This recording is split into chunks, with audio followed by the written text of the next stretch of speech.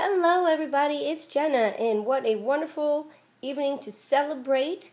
We are all of us saying goodbye to Mr. Anthony. He got a new mommy today, and he will be going to her in the morning. And here to celebrate alongside him, although he's already, you know, had enough milk to uh, just knock him out, uh, and also Shelly, um, is Shelly and Corbin.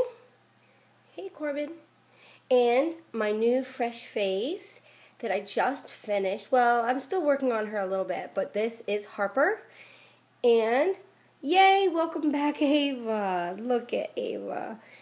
Yeah, her hair's a crazy mess, but she's back, and I'm so happy to have her back. And so, yay.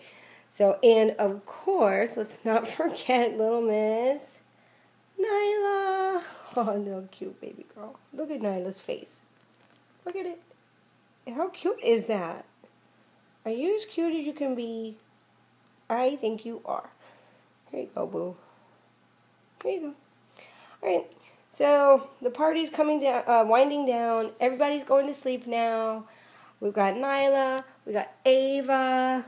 We got Harper. We got Corbin and um, Shelly and Anthony. And say goodbye to Anthony and we'll all just celebrate and uh, wish him the best and happy travels and the best in his new home and hope he stays in touch. And thank you for watching. Bye.